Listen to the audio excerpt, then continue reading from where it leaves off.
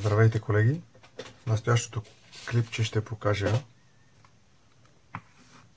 как се построяват диаграмите на трифазния мостов изправител, управляем. Това го чертахме няколко пъти, тази заготовка и в момента ще използвам директно нея, за да направя по-бързо самата диаграма. Ето тук ще направим схемата на самия изправител.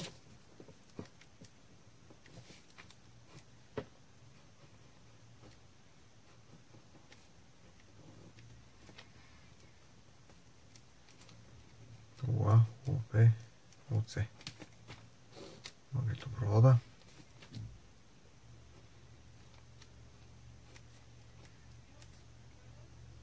Вторичната намотка.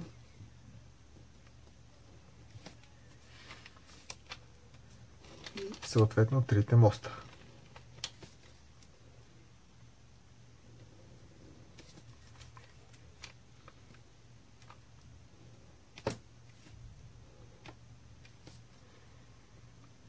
Тиристорите.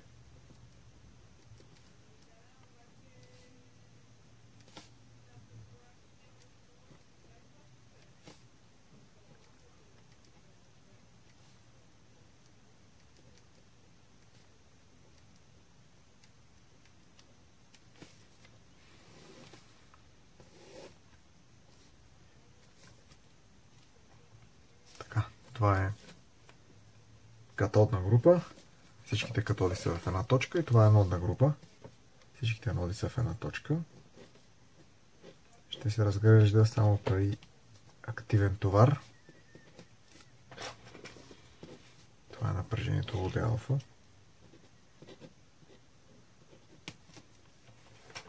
Тук излиза плюс, тук излиза минус. Това е напрежението ОА, ОБ, с. Както казахме, това са фазните напрежения. Тук тук. Върху всяка една фаза. Това е ла.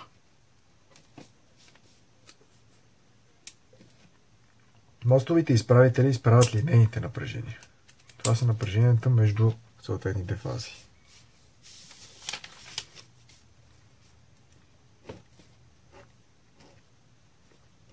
А, B, C. 120 градуса имаме. 120 и 120 между CA. Тоест напреженията, които ще се изправят, са напреженията между съответните фази. Като това са напреженията U, A, B, U, така ще кръстим. U, A, B, тук ще е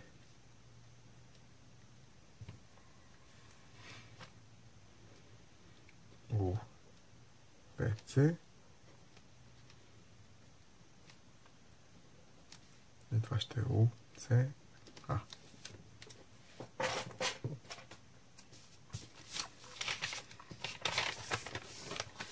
Тук са построени само фазните напрежения.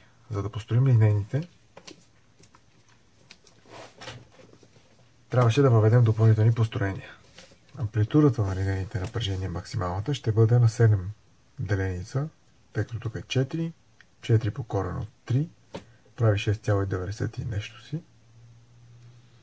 Съответно за това слагаме това като за горна граница, амплитудата. И съответно 7 делени общо надолу. От нулевата ос броено. Това ще е минималната и максималната отрицателна стоеност на линейните напрежения. Сега първо ще напрежението у АБ. Когато напрежението А и напрежението Б се пресичат, т.е. с един и същи потенциал,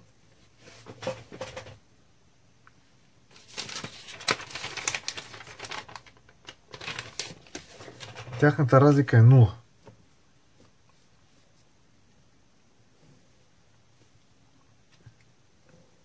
Ако имате едно напрежение, което е 30 волта, да кажем ето в тази точка, на фаза А, имате 30 волта на фаза B. Между тях разликата е 0. Сега едно сте се качили на 30 етаж на сграда и друг човек също е на 30 етаж на друга сграда, вие практически се намирате на един и същия етаж. Тоест, потенциалната разлика между вас е 0 етажа или 0 волта в случая. Та когато се засичат, това ще е нулата между А и Б. Следващия нулев участък между А и Б ще бъде тук. Защото се засичат тук. Следващия момент ще бъде тук. 0. Тук пак ще има 0. И сега трябва да построим.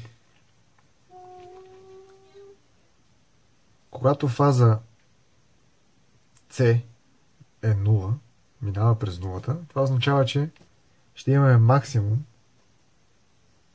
на разликата между фаза А и фаза Б. Тоест имаме максимум или нагоре, или надолу.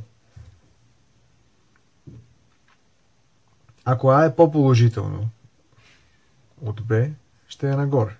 Ако Б, ако А е по-отрицателно, ще бъде надолу. Тоест,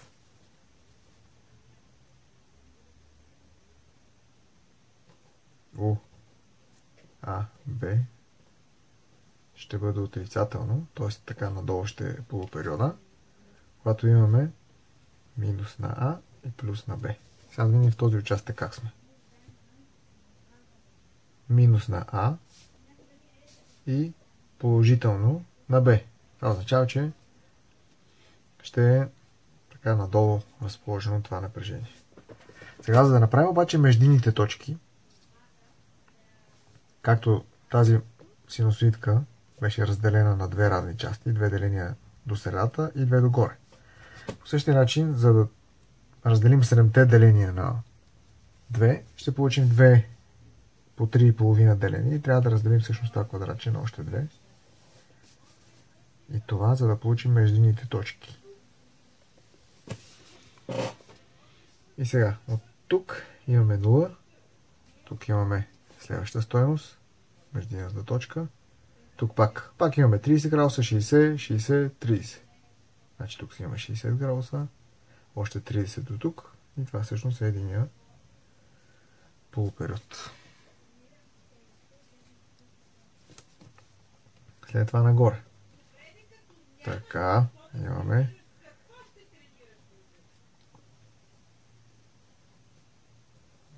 горния, положителния полупериод. След това минаваме през отрицателния пак. Така. После горе. Междинна точка. После нагоре имаме същата работа. Тази междинна точка.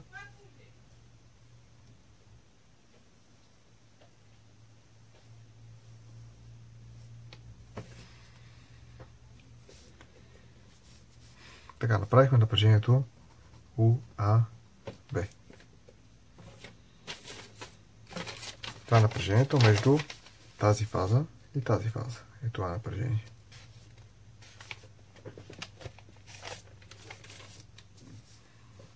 Сега трябва да направим У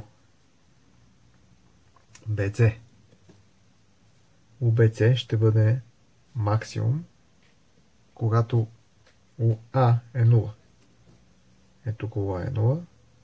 Това означава, че тук ще имаме максимум, съответно или тук. Това лесно може да го разберем. Но по-лесният вариант в този случай, когато имаме вече построена една синусоида, е да си изборим 120 градуса от началото й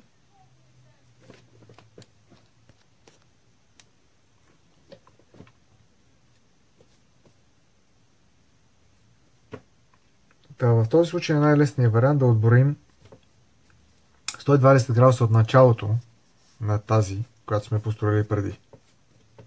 Ако тук е 0, 30, 60, 90, 120.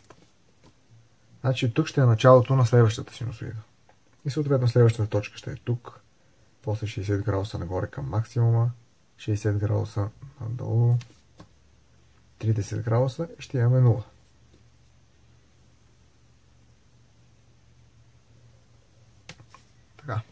Значи това ще е напрежението, само че да, да го направим до, да стигне до другата страна. Така.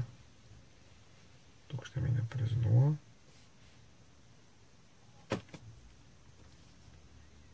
Нагоре стигаме до тази точка. След тази и тук пак.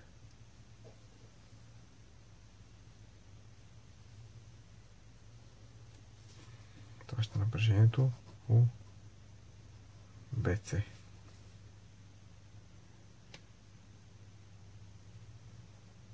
Така. Сега остава тук липсващото звено. Да направим напрежението CA. Пак по същия начин. 30 броим от втората вече, от която сме започнали, от UBC. На 120 градуса ще е дефазирано следващата фаза. 30, 60, 90, 120. Така, така, още 60 горе максимум. Точно трябва да се намести между другите два максимума.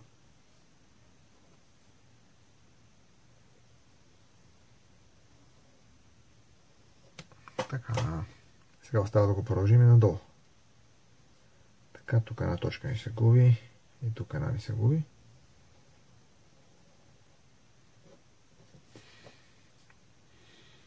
Тук още една точка ни се губи. Тази имаме и тук е.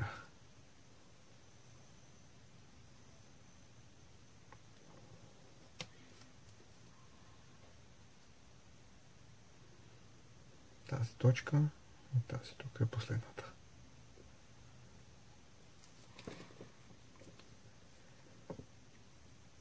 Сега тук го продължаваме назад. Тази точка. Следващата ще бъде тук, тук и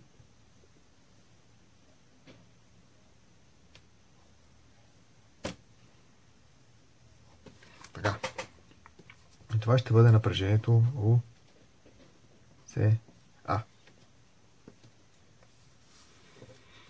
Като сега, при мостовия изправител, тъй като се изправят линейните напрежения, тези всъщност не участват фазовите напрежения върху всяка една намотка, не участват в изграждането на формата на изходното напрежение, което търсим от алфа. А също времено, понеже мостовия още се казва двуполупериоден, не се изправят само горните полупериоди, както беше предно полупериодния, ами тези всъщност, които са отдолу, се завъртат отгоре. Тоест трябва да направим огледални копия на тези и отгоре. Значи както имаме тук, трябва да го завъртим и този отгоре. То път ще ги направя с пунктири. Така. След това, този, който е отдолу и той трябва да го завъртим отгоре. И ще стане наистина малко гъстичко. Така. След това е следващия. Който е този, долния. Него трябва да го завъртим. Е тук тази междинната точка. След това следващия е този. Той трябва да дойде отгоре. Тук пак трябва да се намести нещо. Ето този. Полупериод.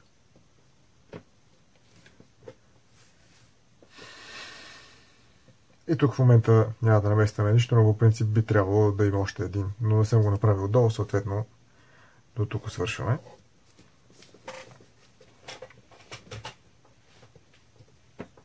В момента имаме така готовност да построим при някакъв ъгъл на регулиране изходното напрежение. Сега точките на естествена комутация в случая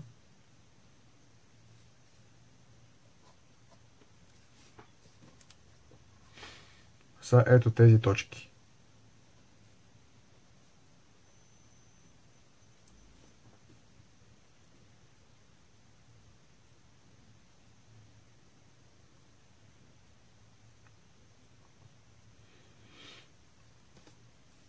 Ако е нормален изправител неуправляем, обикновен, изходното напрежение ще има просто е такава форма. Като, както от тук захранващи устройства от миналия семестър. Но в момента зависи формата на изходното напрежение ще зависи от ъгъла на регулиране. Тоест, ако кажем, че алфа е равно на 60 градуса. Тоест имаме 60 градуса ъгъл на регулиране. Това означава, че от точката на естествена комутация ние ще подадем по-късно сигнала за отпушване на транзисторите. Няма да го подадем в тази точка. Значи е от тук нататък. От тук, ако броим, така ще бъде 30 градуса. Ако тук продадем импулсчето на първия, ще го отпушим тук и ще работи като нормален изправител. Ще отпушим първи тиристор. Отгоре. По реда си на работа те са така. 1, 3, 5, 4, 6, 2. Трябва да внимавате, защото на изпит могат да ви разменят местата, да пишете 1, 2, 3, 4, 5, 6 и така като ви питат нещо за някой друг, може да се объркате. Така че това го имате предвид как са номерирани. Това по принцип е естествения ход на работа.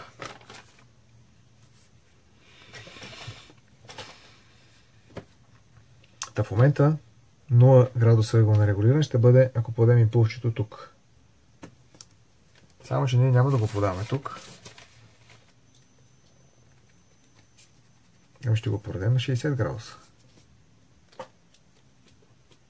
Тоест от точката на естествена комутация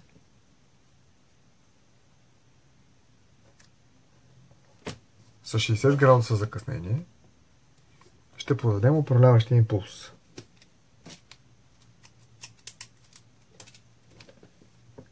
Това означава, че в този момент ние трябва да отпушим, да отпушим някои от тиристорите. За да може да провежда от този интервал нататък, трябва да отпушим такъв тиристор, на който напрежението на на анода му е най-положително спрямо катода.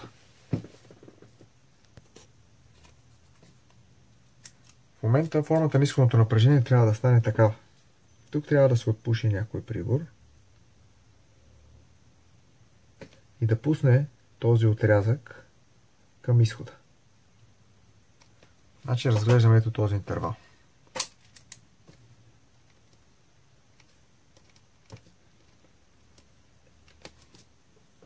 През този интервал трябва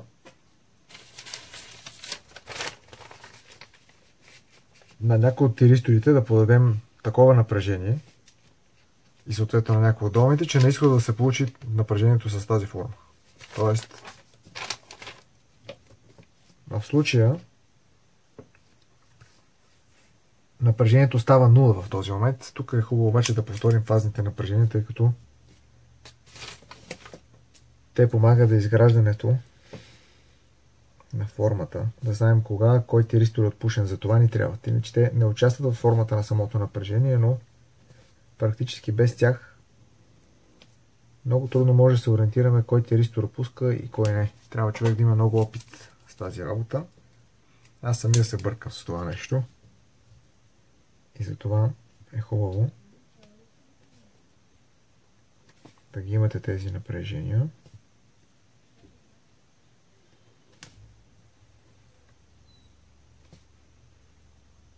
Така. А, остава само синьото на фаза А.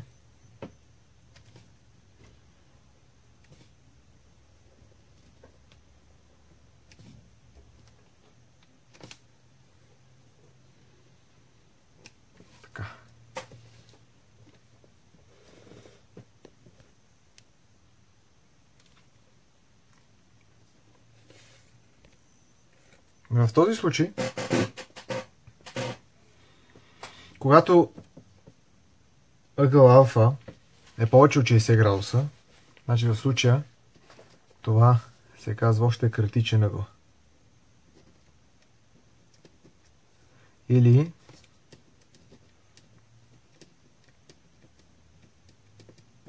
граничен режим.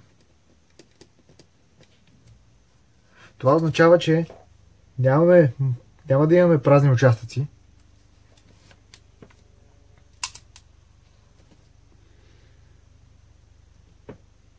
Ето така. Нямаме участъци от напрежението, когато да сме в 0, но сме стига до 0 напрежението. Ако сме по-малко от 60 градуса, да го нарегулираме по-малко 60 градуса, няма изобщо да стигнем до 0. Ако е повече от 60 градуса, ще имаме празни участъци.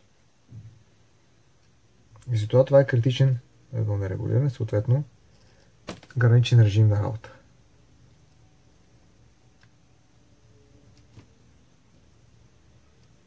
Това ще бъде формата на изходното напрежение.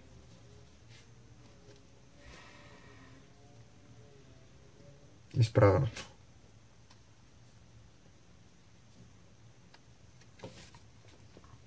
Тези трябва да са еднакво големи, естествено.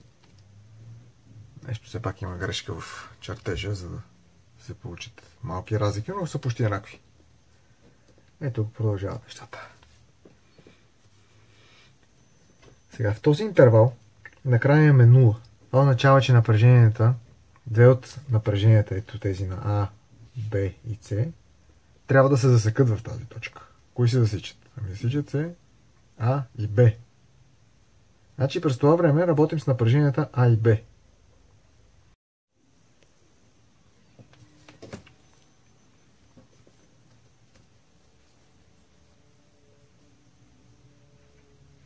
Тъй като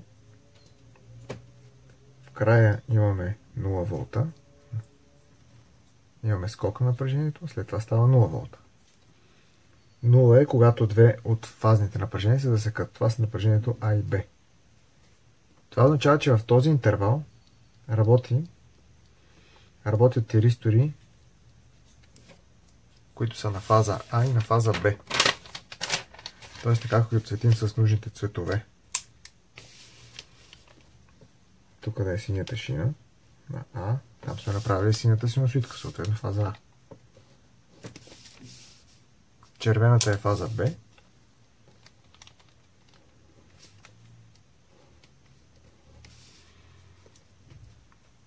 И зелената е фаза С.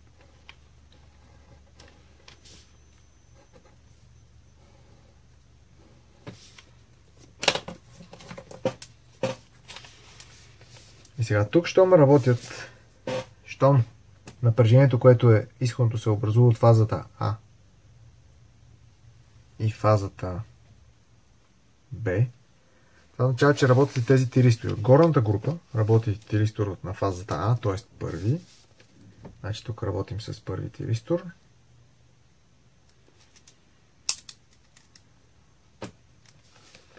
И още кой работи в този момент? Този, който е на червената.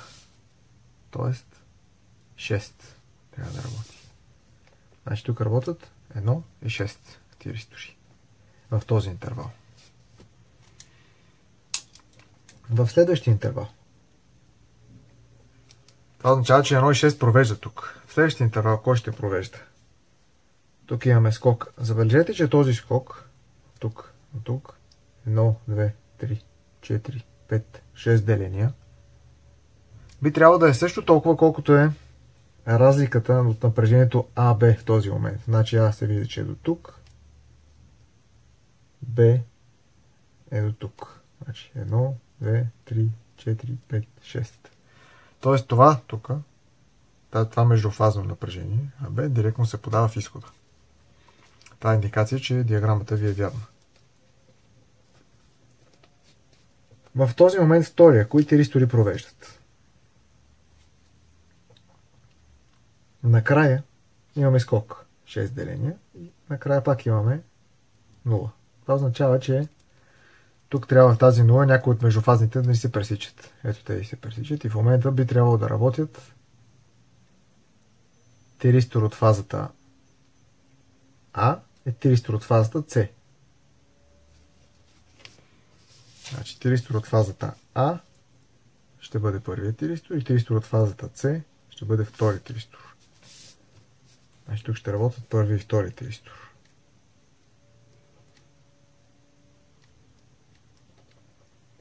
Първи и втори тиристор.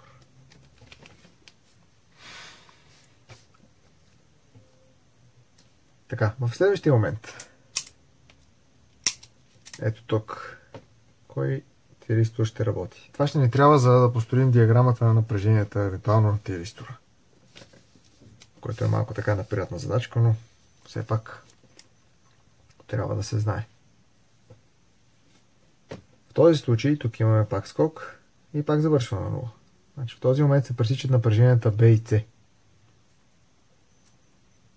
Това означава, че имаме тиристор от група B, който работи и тиристор от група C в отрицателния полупериод. Значи от група B в положителния няма кой да работи освен 3. И от C няма кой друг да работи освен втори от отрицателния. Значи работят 3 и 2. Ще ги пишем така. 2 и 3.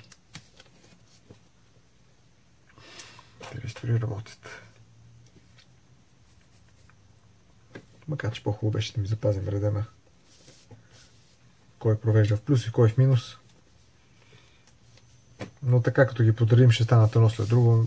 Не знам кое е по-добре, често казвам. Тъй като тези номерации въжат само ако цифрите са по този начин. Смисъл, ако са разменени, трябва да ги помислите по този начин, както ви показвам. Следващия интервал.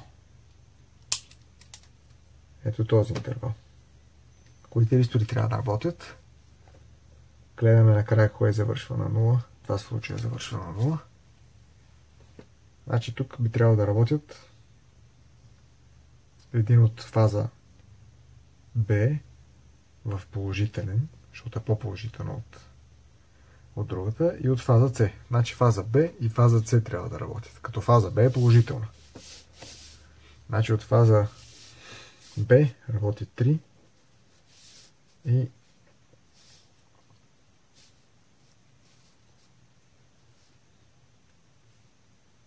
фаза B ще работи 3 и от фаза C ще работи 2.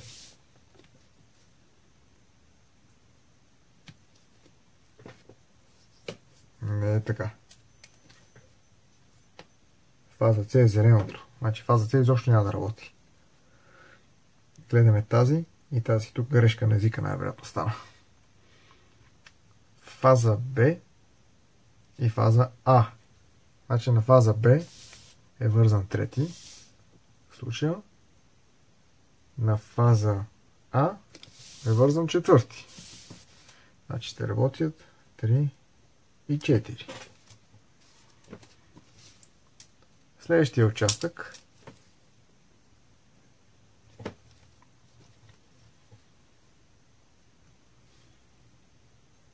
напрежението като стане 0, значи ето тази точка, където се засича, ще работят фаза С и фаза А.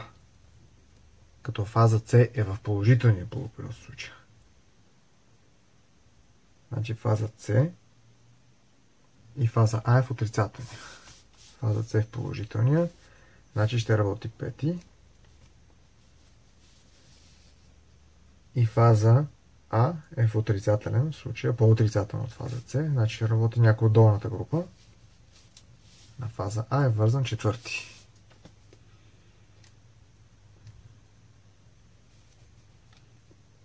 Значи четвърти и пети ще работят.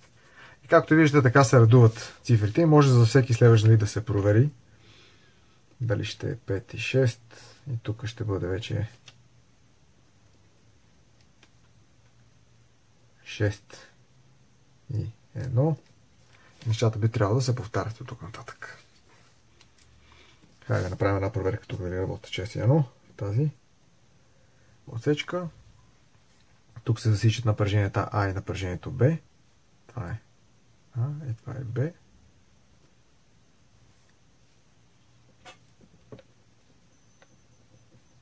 Това означава, че тук ще имаме 0 на изходното напрежение. Ето го 0 е. Щом ще работи тристори А на положителна, Б на отрицателна, А положителна е първите тристор и Б отрицателна е 6. Значи 1 и 6. Значи сметката излиза. И тук нататък продължава. 1, 2, 2, 3 и така нататък. Диаграмите съответно са същите. Пак скок. Пак ги разминах малко. Това да се прави. Така, значи това тук, което построихме, вие U, D, алфа от алфа равно на 60 градуса. При друг ъгъл на регулиране ще изглежда по друг начин съответно. Ако е по-голямо 60 градуса, ще имаме паузи в напрежение при активен товар. Ако е по-малко, няма да стигаме до 0. Ще стигаме до някаква по-междинна стоеност. Няма да стига до 0 тези точки. И сега как ще построим напрежението върху тиристора? Използваме тези графики от другия. Пак ще трябва за първите ристор ще ни трябва когато включи първи, напрежението върху него ще бъде 0, тъй като ще бъде като затворен ключ. Тогава, като мерим с волтметър тук, трябва да ни показва 0 волта. Винаги е така, независимо дали тече ток през него или не. В случая трябва да тече ток, за да бъде отпушен. Това означава, че всички участъци, където провеждат, ето в случая тук едно и две, значи от участък, където провежда едно, така, до участък, където продължава да провежда едно, ще имаме 0 волта.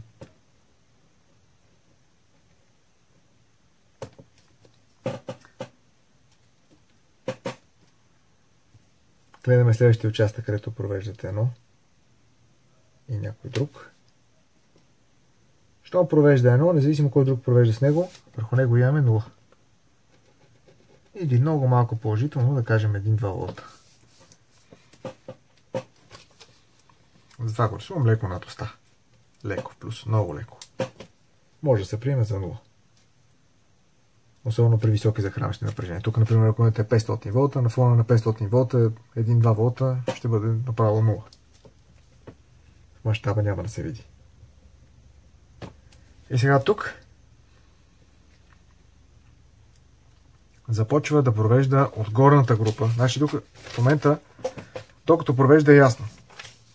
Върху него пада 0. Ако обаче включи някой друг от а, горната група, Например, ако включи диристорът 3, тогава върху първия ще имаме напрежението от тази намотка плюс напрежението от тази намотка. Тоест разликата между тези две напрежения. Значи това напрежение У, А, Б ще ни трябва. А когато включи този, ще имаме напрежението от тази намотка и тази намотка, което е това напрежение. У, С, т.е. ту АЦ ще бъде това както при еднополупериодния. Значи тези две напрежения ще ни трябват в случая, когато ще провежда някой от тези тиристори. А ние имаме именно такъв случай. Или провежда само първи, или само втори, или само третия. Когато сме над критичния ъгъл, в а, прекъснат режим, не е в граничен, тогава имаме участъци и от половината от фазните напрежения. Там стават диаграмите доста сложно. Но в този случай, е тук, щом провежда 3, така, значи той в момента се едно е като късо съединение.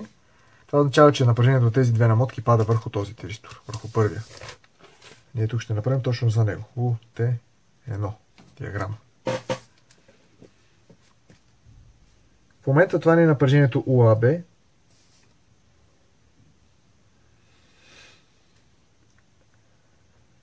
Точно което ни трябва. И от тук с скок ще отиде до него. Тези ги чертахме от предните предното клипче, там са показани точно как се чертаят, а тук ви показах как се избират кои да бъдат. По същия начин, както при ендополупериодния. Защото, тъй като има, винаги, що имаме Тази група нагоре, ако махнем тези двете, става точно едно полупериоден изправител. Както виждате. Даже на лабораторните упражнения по тези, специално така се правеше, се сменяше дали едно полупериоден, като се закачаше тази група. Тя като откачена, в момента имате се едно едно полупериоден, затова линейните се избират по същия начин. Тук гледаме до кога е отпушен този трети тиристор. Отпушен е до тук. Това означава, че до тук ще имате това, тази форма. Все едно имате трифазния преиндуктивен, т.е. да, преиндуктивен товар. Един полупериоден преиндуктивен товар. Тук какво се случва? Включва се 4. Т.е. включва се 5. Нас не интересува само от горната група какво ще се включи. Ако гледаме за напрежение някои от долните теристори, тогава ще ни интересува кой от другите съседни долни е включен. Но в момента гледаме от горната група. Щом тук се включва пети, значи напрежението, ето пети, щом е включен, той е като затворен ключ, значи върху първият тиристор ще пада напрежението на, на мотката А и на мотката С. И това е напрежението АЦ. АЦ е надолу. Ако беше СА, както е от изправното, ще бъде нагоре. В случая е АЦ. Ето това напрежение. Значи от този момент с скок отиваме на това. И то ще продължи до момента, когато не включи пак първият тиристор. Значи, ето така ще стане. Така, и тук с... ще включи пак. И сега тези скокове в диаграмата на напрежението са същите като скоковете тук. 1, 2, 3, 4, 5, 6 деления. 1, 2, 3, 4, 5, 6 деления. Тоест този скок на напрежението същия скок го имате в диаграмата на напрежението върху тиристора. И тук е същото. Тук пак скока е 6 деления, както и тук е скока е 6 деления. Това е така като проверка на цялата работа. Тук съответно пак ще имате тук втория скок. Така. Така пак.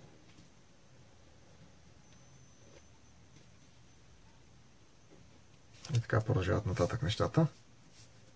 Тук само това трябва да го довършим. Така. И това ви е У Т1 при алфа равна 60 градуса. Сега за ток през теристорите това е активен товар. И ако тук трябва да направим тока, да кажем и Т1, е тук той провежда. И също ток, формата на тока ще бъде същата като изходното напрежение. Значи това да кажем. След това ще имате пак нарастване и пак спадане. Само, че от тук нататък няма да провежда. Значи, както виждате, тук само където имаме 0, тук където имаме изходно напрежение, там провежда. След това имаме 0, защото гледаме само тока на ИТ1. И това. Следващия момент, когато пак ще провежда е тук.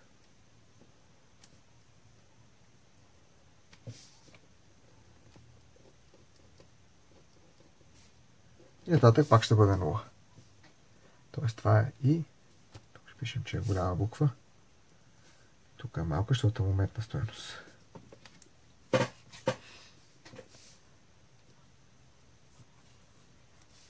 Та това е. Тук може да се питат въпроси най-често, които касаят поредност на работата на тиристорите, като имайте преди, че преди алфа критично нещата не са по този начин, изместват се с, с една напред, т.е.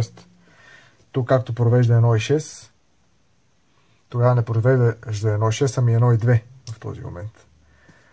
И затова казваме също, че се подават издвоени импулси, защото виждате, че и в този период, и в този период се подава импулс на едно. Ето, не случайно тук това като е направено особено над критичния ъгъл, задължително трябва да се пораде импулс. Ако е под критичния ъгъл, тока през него изобщо не, няма да прекъсне. Тоест, примерно, ще да провежда до тук и от тук вече да тръгне следващия. А, но в случая над критичния ъгъл е задължително да има винаги е задължително да има сдвояване на импулсите. Защо му се подава тук на първи, тук щом трябва да провежда пак първи, пак му се подава управляващ импулс. И пак да припомним как се подават управляващите импулси. Плюс на управляващия електрод, минус на катода. И така е на всички. Тоест тук трябва да протече някакъв ток през този гейт. За да го отпуши за някакво кратко време. Тоест тук импулсчето би изглеждало така на 1,6. Така. И тук пак трябва да се пусне пак на 1. Значи това, ако е на първи 300 и тук ще е на първи 300. Съответно, тук ако трябва да се пусне, тук трябва да се пусне и на втори. И на втори пак трябва да се пусне тук. Ако трябва тук да пуснем на трети, в следващия момент,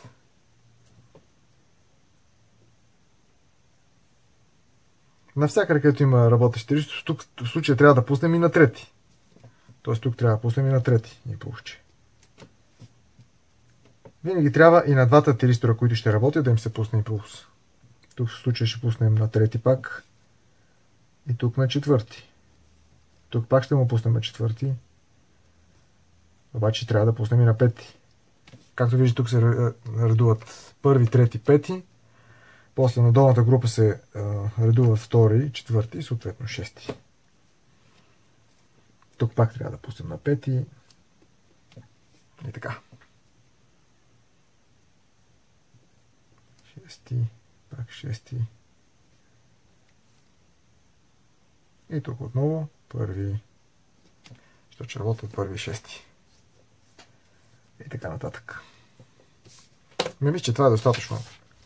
Относно интеграла за извеждане на средната стоеност, ето тези площи,